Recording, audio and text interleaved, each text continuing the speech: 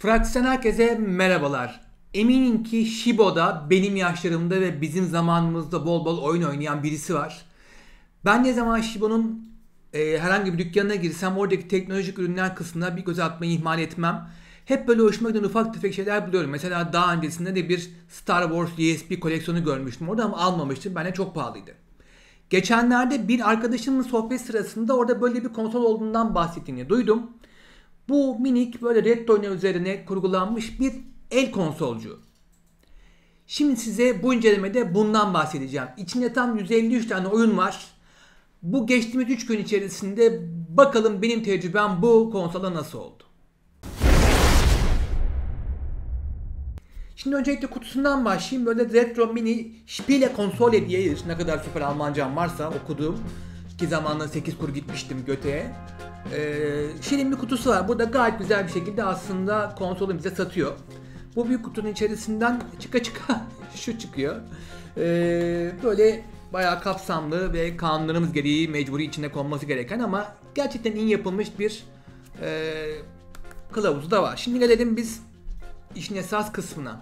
Aslında kutusunun üzerinde her şeyi yazmışlar. Bu e, 9'a 2'ye 5 diyeceğim. Yani işte 9'a 5'e 2 hani o da eni oluyor. Bir minnak konsol. 3 e, tane bildiğimiz klasik e, pille çalışıyor. Onu şu arka kısmına koyuyorsunuz. Bunu açmak için bir gözlükçü tornavidasına ihtiyacınız var ve bu tabii ki ufak vidayı kaybetmeme dikkat etmenizi tavsiye ederim. Şimdi 1.8 inçlik bir e, Liquid Crystal işte bir likit ekran var üzerinde öyle diyeyim ben size. Tuşları da böyle gördüğünüz gibi şuradaki minnak boşluk hoparlörün kendisini gösteriyor. Burada da 3 tane tuş var. En üstteki tamamen tüm kontrolü resetlemeye, sıfırlamaya yarıyor. Oyundan çıkarken bunu kullanmanız daha pratik olabiliyor. Ee, hemen altındakine baktığımız zaman o da kapatmayı da eklersek e, 4 farklı aşamada ses ayarını sağlıyor size. Yani basıyorsunuz Bastıkça işte ses en yüksekten bir aşağı düşüyor. Sonra kapanıyor. Sonra tekrar en yükseğe çıkıyor. Niye bunu koymuşlar? Çünkü bunun üzerinde herhangi bir kulaklık girişi yok. O yüzden kalabalık bir yerdeyseniz bunu ister istemez kapatmak durumunda kalıyorsunuz. En alttaki tuş ise biraz arayıp bulmanız gereken bir tuş.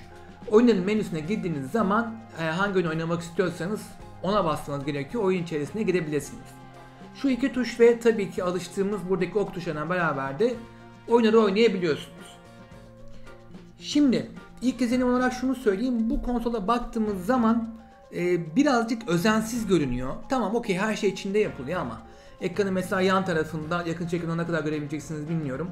Tam olarak buradaki plastik e, temizlenemeyebiliyor. E, yapıya baktığınız zaman bu birleşme noktaları biraz e, ki kaliteli plastik havası vermesine karşı ucuz görünüyor. Alttaki kapak keza öyle. Griliği konsolun genelinden farklı. Hani yapmışlar evet güzel olmuş ama birazcık bir ucuz havası var. 99,95 TL fiyatı şu anda. Peki içerisinde bulunan 153 tane oyun buna değiyor mu? Ha bu arada şunu da ekleyeyim. içinden 3 tane pil de çıkıyor.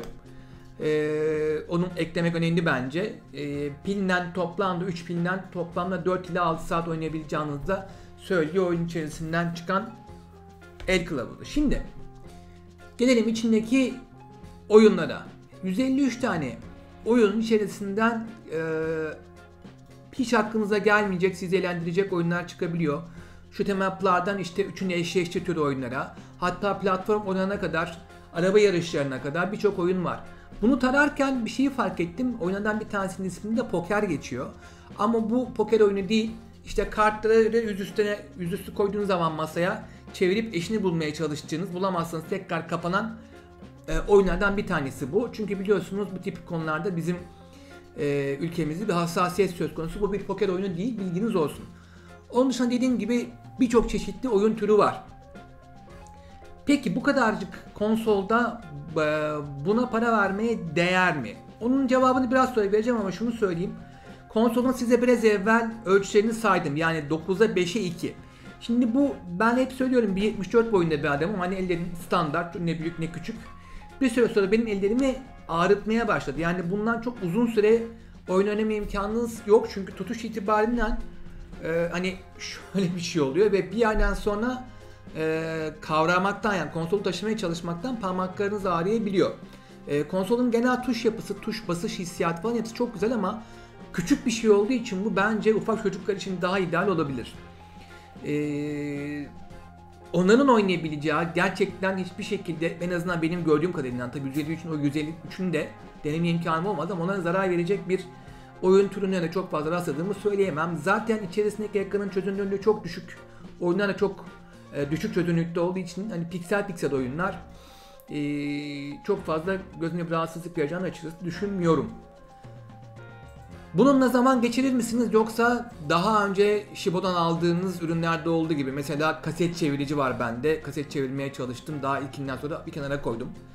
gibi e, bir kenara koyup unutacağınız bir ürün mü derseniz şunu söyleyeyim. Şimdi bu gerçekten pilin ağırlığına kattığınız zaman hafif sayılabilecek varlığı yokluğu belli olmayacak. Harbiden hani bu çok klasikler ama üst cebe bile konulabilecek bir konsolcuk.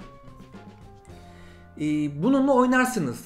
Ama 153 oyun olduğu için de e, fazlasından zaman geçebileceğiniz e, süreyi size verir. De bir yerden sonra tabii içine oyun ekleyemeyeceğiniz için sıkılıp bırakabilirsiniz. Bir de tabii ki siz de biliyorsunuz ki bu oyunların e, alternatif olan birçok emülatör var. Bununla beraber böyle birçok bir retro oyunu hatta tercih ettiğiniz oyunları da e, cep telefonunuzda, tabletinizde çalıştırabilirsiniz. Bunun en büyük avantajı bunun taşınabilirlik e, sağlaması ve çok fazla oyun sunması.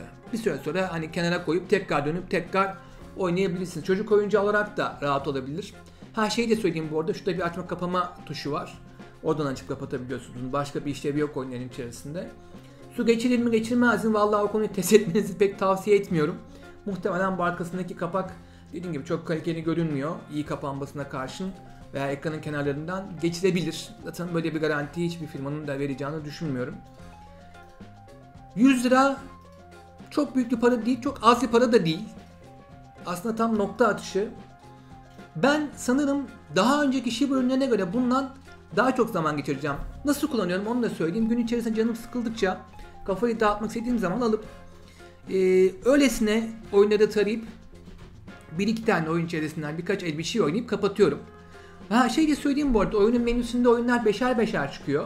Ama bunu aşağı tuşuna basarak tek tek geçmek zorunda değilsiniz.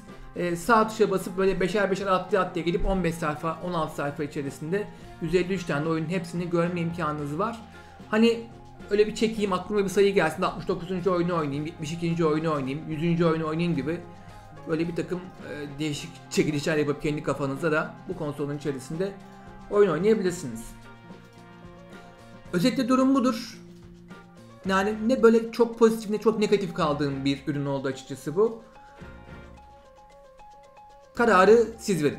Lütfen yorumlarınız varsa aşağı yazmayı ihmal etmeyin. Ben dediğim gibi biraz Shibo takipçisiyim. Muhtemelen bundan sonra Shibo'ya gelen diğer ürünleri de eğer ilgimi çekerse karşınıza inceleme için getireceğim. Bizi takip etmeyi lütfen unutmayın.